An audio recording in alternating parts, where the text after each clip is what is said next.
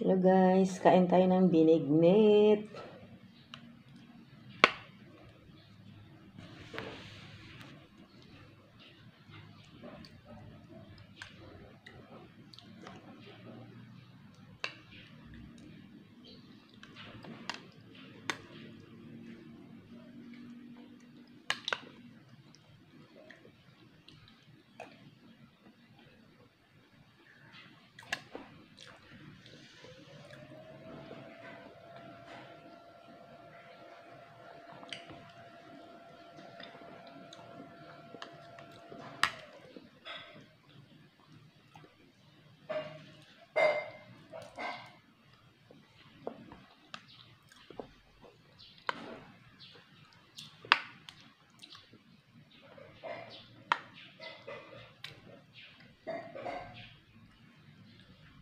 Pag si Bernie Santo guys, ang dami magluluto ng ganito. Ito talaga kinakain ng Bernie Santo. Busy sa luto ng binignit.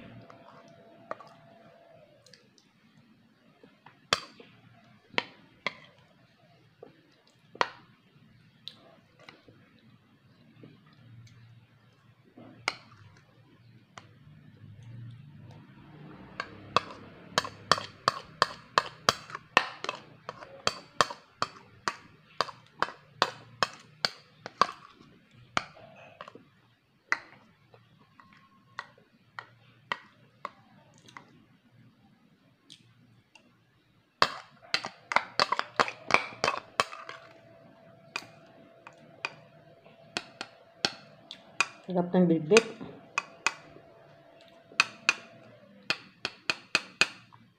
Tama lang ang tamis.